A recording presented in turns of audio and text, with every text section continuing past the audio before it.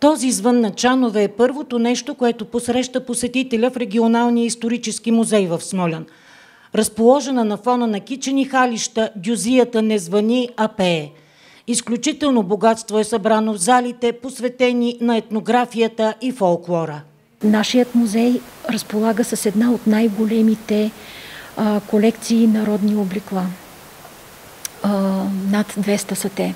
В фондовете се съхраняват над 400 накити, над 500 медни съдове, над 2000 тъкани. Много сме горди с, с нашето а, богатство на халища, близо 900 на, на брой, а, които умайват със своите багри. Най-силно впечатление, може би, на посетителите правят кукерските маски, обредните хлябове, китките.